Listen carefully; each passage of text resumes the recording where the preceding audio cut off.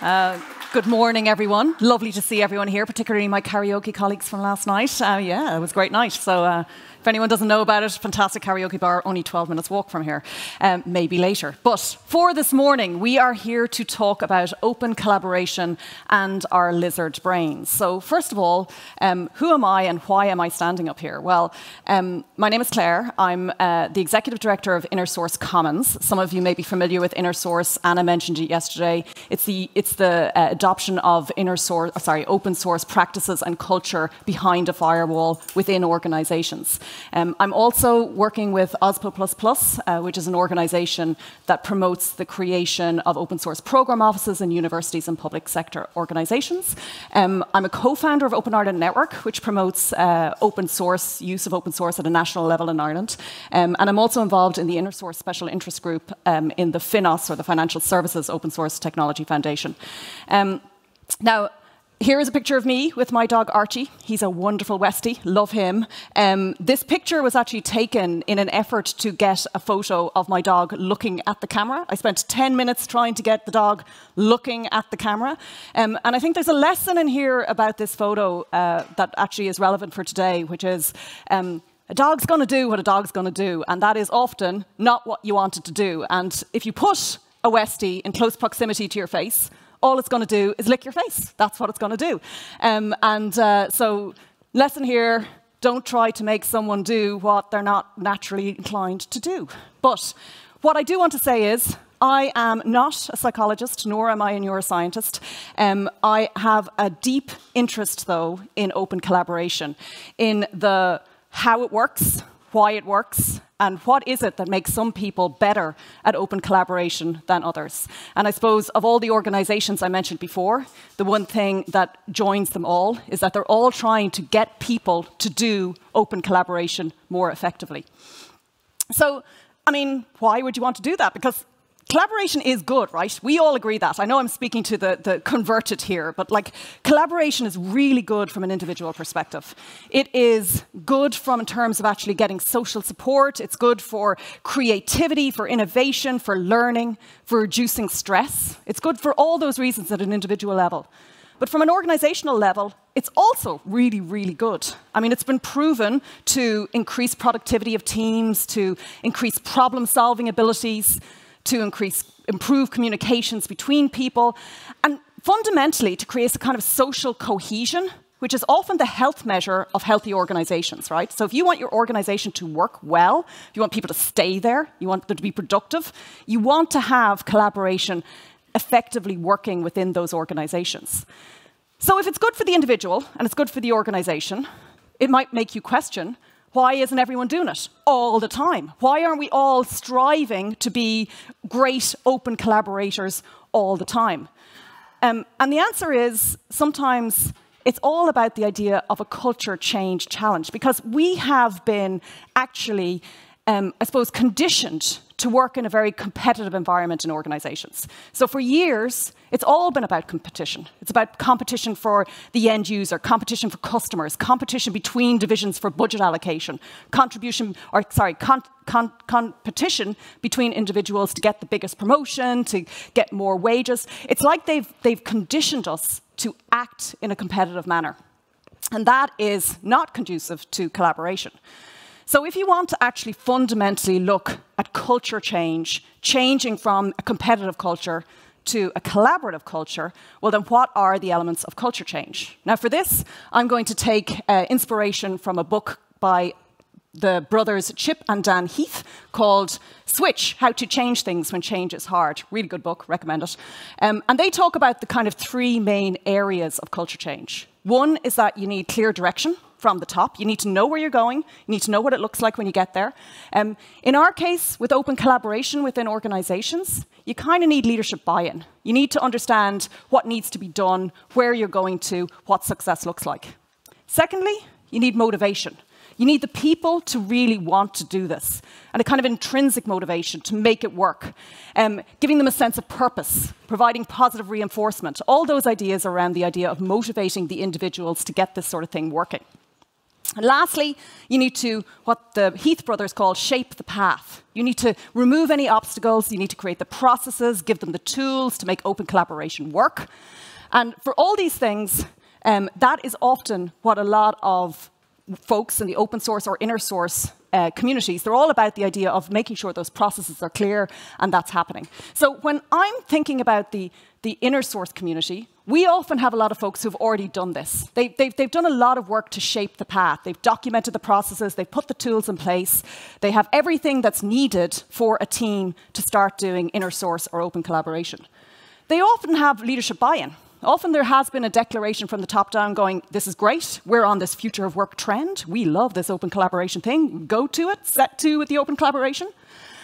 But oftentimes there's a lot of discussion around if we have this in place and we have leadership buy-in, why isn't it working? And it comes often down to this idea of motivation.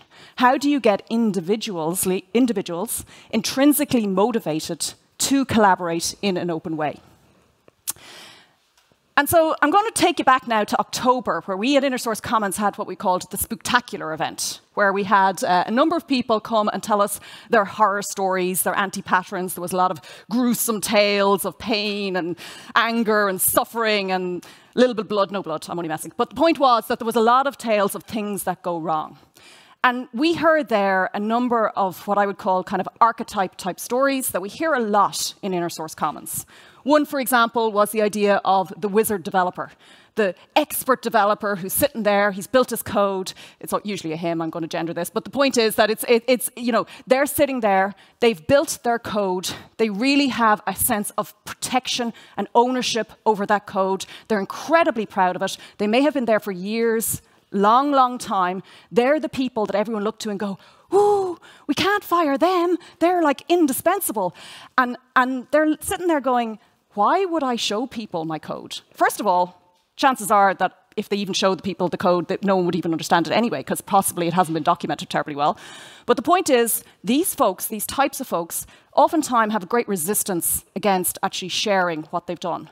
Second type of, I'll say, stereotype within the, the discussions about what goes wrong are this idea of misguided middle management. And we heard Wolfgang tell some stories about that yesterday. But the idea is that these often maligned group of people um, can often be blockers when it comes to open collaboration. So we hear stories about grassroots development movements where everyone's wanting to do the open collaboration. They see the point, they want to work together, they want that social cohesion, the connectedness, all the rest of it.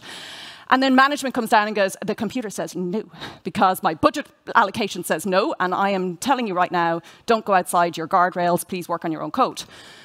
So a lot of people are you know, identifying with this idea of middle management actually blocking open collaboration. Now, I'll say now, they often get bad stick, right? Like everyone's saying, middle management, they're pretty bad on the open collaboration space. But they are often reflecting organizational constraints that have actually been put in place, and they're really reacting to perhaps incentives that have been given to them to maybe act in a different way. Now, the last area, and I'm to, this one was one of my favorites. Uh, it was uh, brought to us by our friends at the BBC. They, they came up with the term, but you may have heard of test driven development. You may have heard of data driven development, but have you heard of mortgage driven development? Uh, which is the idea that there are some people whose main priority in life is just to keep their jobs. And so they are motivated by the idea that I need everyone to need me to be the only person who can actually change this code. Because if I'm not the only person who can change this code, um, my job might be on the line. Um, and I may lose my job, lose my ability to pay my mortgage, and therefore all my decisions are framed in that context. Um, so these are types of, I suppose, stereotypical situations that you might come across within an organization, which leads to a motivation that's other than open collaboration. So right now, I'm going to do a little bit of an experiment, right? I'm going to get you all to stand up, please. You can do a bit of a stretch if you like. Try not to punch your neighbor, right? Stand up. It's morning. I know it is. Take a deep breath. Woo, this is good, right? Now, stay standing if you think you're a pretty rational human being who makes rational decisions. And sit down if, for the most part, you don't make rational decisions. Interesting, a group of pretty rational people. Well, I can tell you right now that you can all the rest of you sit down too, because the fundamental thing is we think we are rational beings. We're all terribly logical. We have amazingly intelligent brains capable of problem solving at a high degree of complexity, but we actually do not make rational decisions all the time. Now, I'm going to bring you to a person called Daniel Kahneman. Has anyone heard of Daniel Kahneman? He won the Nobel Prize, I think, in 2002 for economics. Um, he wrote a book called Thinking Fast and Slow, um, and it's all about how our brain works and makes either rational decisions or irrational, emotionally led decisions. So it's about how fundamentally we think we are rational beings, but actually we are blind to our blindness. We neither make rational decisions. We're not even, we don't, we have very little idea of how little we actually know. And we're not even designed to know how little we know. So we're not even aware of the fact that our brains work in a certain way. That means that this rational bit of our brain rarely gets engaged on a general basis, if you're thinking about like 24 hours. One model that I found that helps me understand this is called the triune brain model. It was brought, to, brought out by a neuroscientist called Paul MacLean back in the 1980s. And it is about the idea that our brain can be considered to have evolved over time, starting with the reptilian brain right at the top of our brainstem here, which is about um, unconscious or emotions or um, instincts. So, like when we're back in dinosaur ages and saber-tooth tiger comes along, what do we do? We run. You know, you don't sit there going, I think I need a strategy plan for the saber-tooth tiger, tiger attack. You actually see the tiger and you run, and that's, or you fight, whatever you want to do. But the point is, you don't have to think about it. Then came the limbic system, or the emotional feeling brain, which is where that's where our emotions are processed. And then, lastly, evolved the human side, or the, the bit of the brain that's associated with humans, or the neocortex, which is where a lot of our rational thinking, conscious thinking happens. Now, the triune brain model has actually fallen out of favor because it's a little bit oversimplistic. So it's not true to say that our brain evolved in these like three layered models. Um, also, there's been proven fact that even lizard-type you know, animals or birds may actually have uh, brain activity that spans the, the, the three areas. So it's not incredibly accurate as a model for a brain, but it's a really good way to explain the difference between what is essentially a kind of a primal instinct and what may have evolved as kind of rational, deep, complex thought. So when I talk about the lizard brain, I'm talking about the bits that are associated with that reaction to the saber-toothed tiger, how we have evolved to actually do things in a very quick manner. And the thing is that evolution has made us cognitive misers. We want, at all times, to actually save energy. That's what we're designed to do. If we had to make a rational decision when anything new came our way, when we had to come down the stairs and decide what to eat for breakfast, when we had to actually land in a new city and find the building. If we had to, I mean, I don't know about the rest of you, but yesterday when I was trying to get here in the rain and I was wandering around the courtyard outside, caused a lot of cognitive load. I was like, oh my God, how am I going to find the event? If we had to do that for every minute of the day when we're deciding what color socks to wear, we would be exhausted before we get downstairs in the morning. So we have spent a lot of time evolving a way in which we spend as little possible, as little time as possible in the rational, complex thought part of our brain, and as quite a lot of time actually making these snap decisions that actually help us just get through the day in an efficient manner. Oh, I forgot to build the slides. So basically, we have uh, anything that requires decision making, Eh, you know, ambiguity requires significant cognitive load that actually is exhausting. And our priority as humans is to conserve energy and to be more efficient with our brain power. And we've evolved these idea of mental shortcuts to help us do that. So most of you will be familiar with the idea of, oh, sorry, before I do that.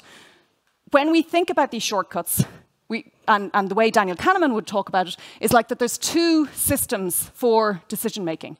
And what's interesting is our brain rarely, you can't do the two things at once. You're either doing a kind of a automatic decision making process or you flip into this thinking high energy kind of process. System one or unconscious emotion decisions are very fast, they're often involuntary, and they associate things. So they're based on learnings that we've had in the past. System two, it's more slow, it's controlled, it follows rules, and that's the more complex cognitive piece of our brain. So the one that thing that we are probably most familiar in this case would be biases or cognitive biases. So when I started looking into biases, I didn't quite realize how many there are. There are at least 188 cognitive biases that have been identified. You can't read them here, but I would recommend following the link to actually have a look at this um, codex because it's just fascinating. Um, but just to give you an idea, they're kind of broken down into shortcuts about what we should remember, so what, what we should remember, um, when we have too much information, which is pretty much all the time, these days, any day, right? There's so much input in our world, then we actually take shortcuts to manage that. Um, oftentimes, we need to act fast. We can't deliberate and go into analysis paralysis on every question that comes our way, so we often have to make snap decisions. Um, and oftentimes, we react to not having enough meaning in our world. So we tend to make, to assign meaning to things where meaning may not be there, because that's just the way our brain works. So examples of this might be, um, in terms of we need to act fast, we might favor the immediate thing that's relatable in front of us. So whatever is most familiar to us or what we've seen last is often impacting our brain and how it works. We imagine things or people that we're familiar with or fond of as better. And that's the whole idea of the us and them thing, right? So when we know someone, we just think they're better because we're fond of them, we're familiar with them. That's a brain shortcut we have. We notice things that are primed already in our memory. So the more often we hear something, the more true we think it is, whether or not it's true or not. Right? So if we've heard things something once, because uh, this happens to be the first time you've had a presentation on open source software and its benefits, versus you're going to FOSS Backstage every year and you're pretty much embedded in the whole idea that open source is good and open collaboration is good. Well, one thing is more likely to be true for us than the other scenario. Not, neither of them may actually be related to whether it's true or not. It just happens that we hear one thing more often and one thing we hear less often. And, and also, we store memories based on the emotions that were present when we experience them. Um, so, emotions are very tied to how we remember things. And the biggest emotion is fear, right? If we are fearful, that is hugely impactful on our brain. Now, fear and the threat response basically activates what's called our amygdala back here. And it's part of that lizard brainy type of area. And basically, when we feel like there's a threat present, say a saber-toothed tiger comes through the door, and we all are pretty scared, then we activate this part of our brain for threat response.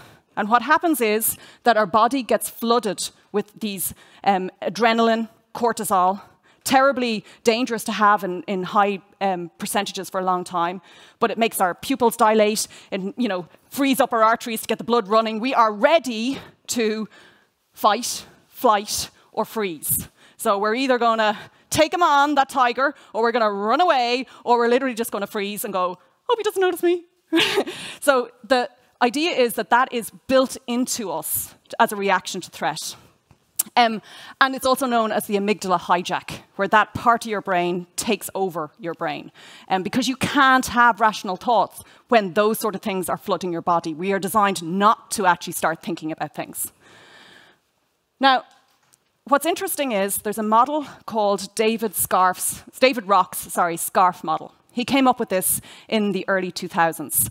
and what's really interesting about this framework is that David Rock identified that social threats are responded to in almost exactly the same way as physical threats. And the five main areas, or the framework in which we can consider this, is called SCARF.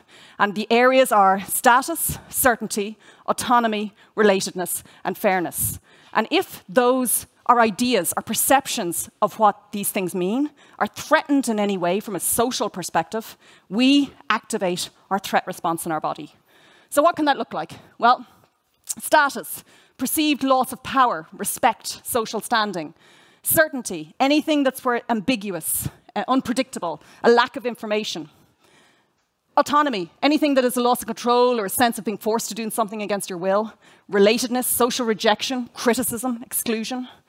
Fairness, perceived unfair treatment, bias, or injustice. Now, I don't know about you, but when I learned about this model, I was like, ha, that's what's been happening all this time. I've been doing digital transformation consulting for God knows how long. And every time I go in, I'm like, it's going to be brilliant. I'll tell you what's going to happen. You're, everything's going to change. It's going to be amazingly innovative. What you used to do in the past, that's a no no. What we're going to do now is this hugely evolving, unspecific set of things that are coming down the line. Your team is going to change, great efficiencies. We're going to have rationalization, typically means people being cut.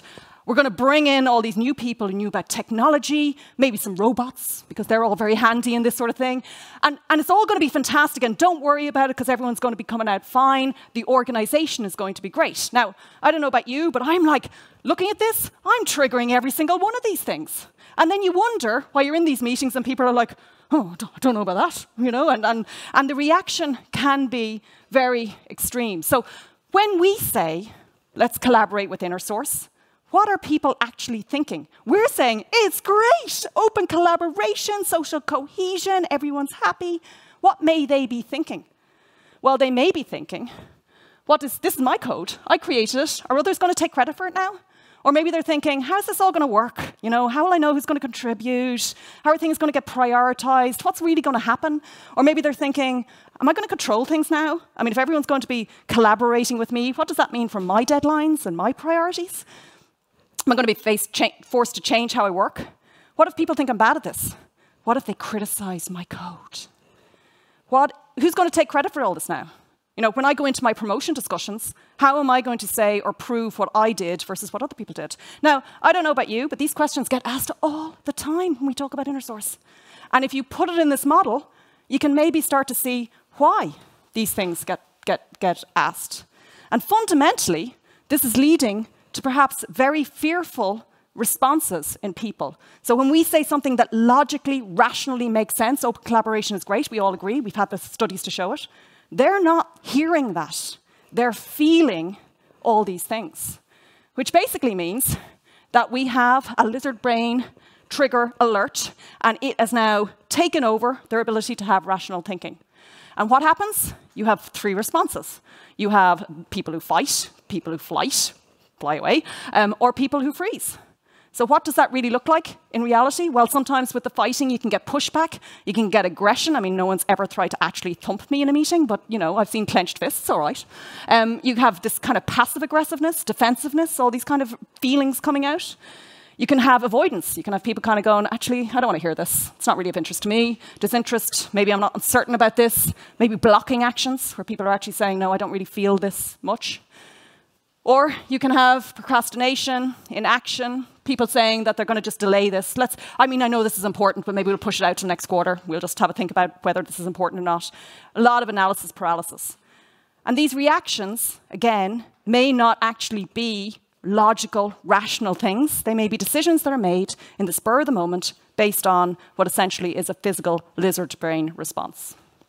So, remember, Reactions are often involuntary. Rational arguments in this case doesn't work. Now, also, this feeling, the actual flooding of the brain, can last anything from minutes, where you have an initial reaction, and depending on the strength of the actual reaction, it can last hours. So remember, this is not just a minute by minute thing. People's uh, cognitive ability may be impaired for actually hours as a result of this. So what do you do? You need to minimize the threats.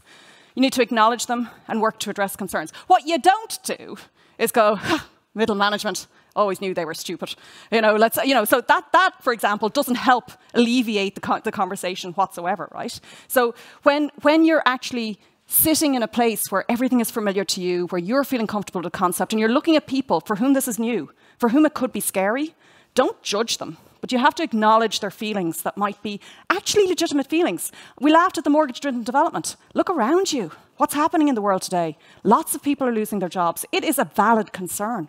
And when we talk about open collaboration, it isn't always sunshine and roses and unicorn and rainbows. Like oftentimes we've got two teams doing the same thing, they get rationalized, rationalized. What actually happens? People do lose their jobs. So these are valid concerns that people have, and we have to acknowledge them. But there is an opportunity because it's not all bad. Because I showed you the SCARF model before. We talked about the, the you know, threat response that happens in your brain. What's really interesting is there's another response, and it's the reward response. So, with the exact same framework, you can actually trigger a love response because what gets happens when those areas get rewarded, we release in our body dopamine, serotonin, oxytocin, endorphins. What are they? The same drugs that you get when you fall in love, or eat chocolate, but fall in love. So the point is that you can actually literally bypass rational thought and get people to fall in love with ideas by actually positively reinforcing these areas. So again, when I look at this framework and I think about the patterns that we may have in inner source commons that we talk about a lot, you can actually literally list these against the areas in SCARF. You can talk about the emphasis on recognition and praise and um, you know, helping people feel good about their stuff. This isn't just a good idea because it's nice to do on the side. It's because it actually helps people feel positive about their status in their life and their social circumstances. We talk about leadership buy-in. We talk about documentation, mentoring. We talk about all these things that help people have clarity around what's going to happen and takes away ambiguity. We talk about autonomy. We want to not just give people autonomy in terms of the code they participate in and collaborate in, but you want to give them autonomy in rolling out the process. You want to engage them to help them understand that they're part of actually creating these processes that they're going to be doing in the future. And you have to watch out for blanket enforcements. So we've had a couple of instances where people, someone from the top down says, from tomorrow, everyone's doing inner source. And you're like, no one's thought to address any of the other things. That can literally cause that fear response we talked about. So watch out for that. You want to give opportunities for creating connections. That's why events and online forums and hackathons and events like this are so important, because creating relationships is really key to actually creating this really positive uh, emotional response. And you want to make sure that it feels fair. And this is really important. And I think more and more we're beginning to realize that it's very hard to get these sort of things rolled out in a systematic scaling fashion if you haven't got some sort of complementary incentive process within the organization. Because if you've got someone who's saying, you know, I'm going to reward you for what you produce on this bit of code, and you're trying to get them to actually help collaborate on other pieces of code, it's just not going to work fundamentally in the long term. So you need alignment between incentive models um, and, uh, and what you're trying to do in terms of open collaboration. And of course, if you are measuring that, you do have to watch out for metric gaming, because that's often what happens in the, in the end if you're not careful, and it really can help make people feel that things are unfair. So that helps people feel very, very happy and brings a little bit of love into the equation, which is really, really good. So, takeaways.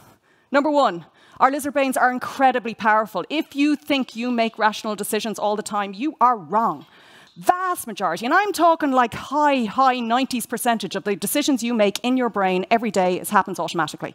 Doesn't require conscious thought. Reactions are involuntary. You cannot talk your way out of this. You cannot explain and hand academic papers to talk about the value, business benefits of open collaboration if people are triggered in this way. Um, so they don't work uh, rational arguments. It can last. Be careful about that because sometimes you need just to give people time to get over an emotional reaction and maybe they're a little bit more open to rational arguments an hour or two down the line. So maybe don't try and land it on them all at once if they're feeling triggered. And use SCARF. It's a fantastically powerful framework to do a checklist in your brain about the emotional responses to change. Um, and again, think about it in the context of minimizing the threats and maximizing the rewards. And if we do that, maybe, just maybe, we'll have less scared of Saber-tooth tiger type reactions and more love for open collaboration. So that's, uh, that's my talk, and I want to say a big thank you all for listening and to say thank you to the organisers here today because FOSS Backstage certainly brought a bit of love into my heart. Karaoke people too, love that, thank you. Um, really appreciate that. Awesome. Thanks, Clare. That was really insightful. I think uh, it will give us a couple of tools to deal with this situation. So, are there any questions? Or is everything really clear? I hope so. Anybody? Just a second. How, in practice, how do you apply uh, these things? Oh, hold on. For the people online. In in practice, um, how how do you apply these things when you go to a company that has is really struggling with uh, like ad adopting this? They, are they coming towards you and uh, say, all right, with some management level things, this would be cool, um, but the whole company culture is against it. Or, like, what are the? How do you deal with the challenges in practice? Well, I think so. I mean, from my personal perspective, a lot of these kinds of, um, I suppose, signals that that are that I listed here um, often come up in the discussions that we have in Inner Source Commons when we when we're, because we're a community of practitioners and folks are talking about, well, this is what's happening, right? I'm, I'm getting this kind of response. Um, here is my horror story, um, and and folks then are, are basically trying to discuss how to actually, what are the patterns, what are the ideas and experiments we can do to actually alleviate those issues.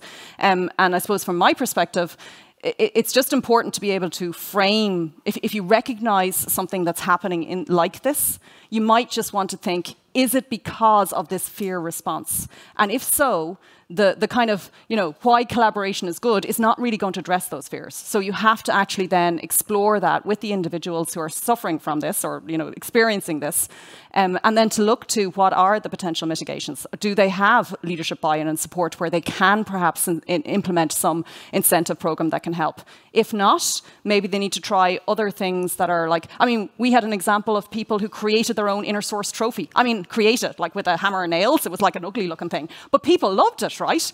And like you handed it out to teams, and that was enough for to give that feeling of status and reward and fairness. So it doesn't have to be a corporate incentive program, but you need to look at ways in which you can actually mitigate against minimize that feeling that something that something's impacting negatively your status and see how you can actually positively impact it and look at the many many ways you can do it another thing i would say is that some people say oh you know thank you for your contribution is enough like that's thanks that's praise but we know for a fact that if you double down on that, if you have people who actively spend time going into people's LinkedIn and saying, you're great, blah, blah, blah, or sending emails to their bosses, or there's many, many ways you can appreciate people. And if you do it authentically and you do it consistently and you do it with gusto, it's far more effective than a, you know, always remember to say thank you to a contribution which is fine, but can feel formulaic, not real. And we've seen leaders who are good at that, when they leave a team, the inner source contributions can drop um, simply because that person spent so much time doing that. And sometimes that's kind of hidden work, people don't appreciate it, but it's so important to the actual cohesiveness and the, and the actual celebration of the work in the team. Anybody else?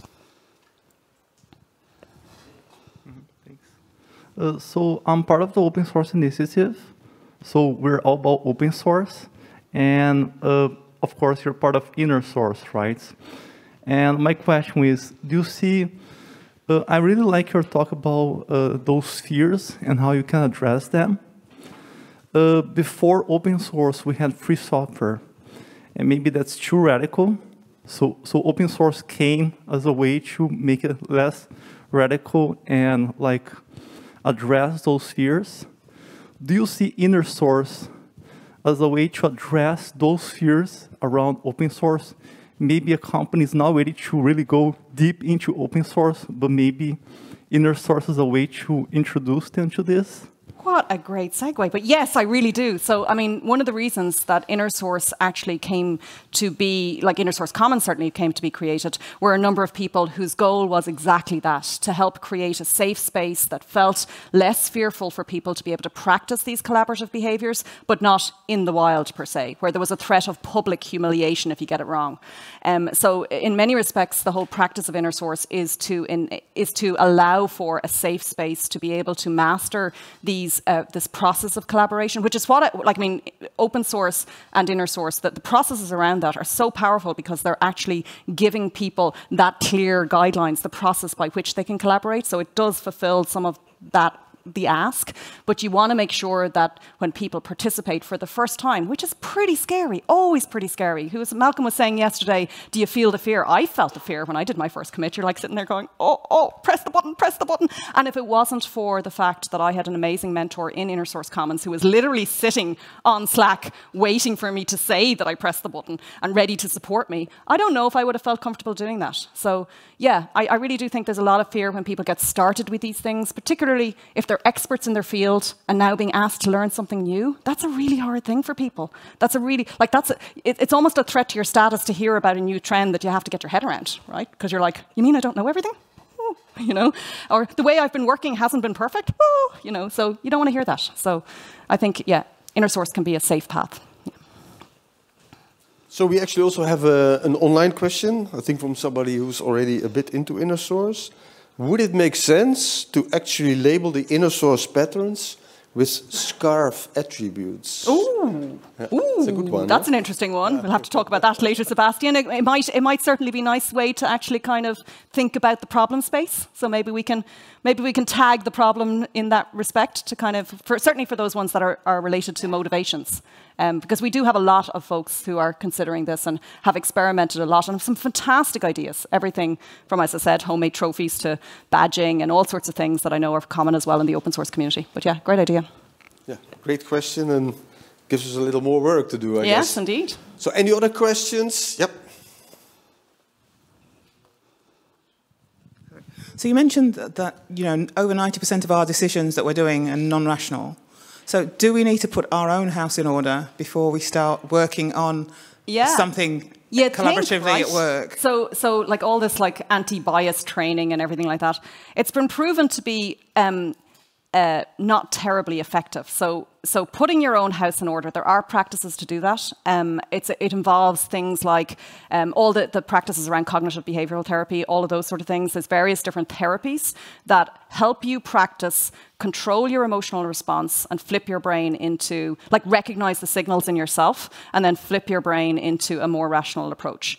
Um, obviously, I think we should all be doing all, more of that all the time, including myself. There's lots of work to be done there in terms of self improvement.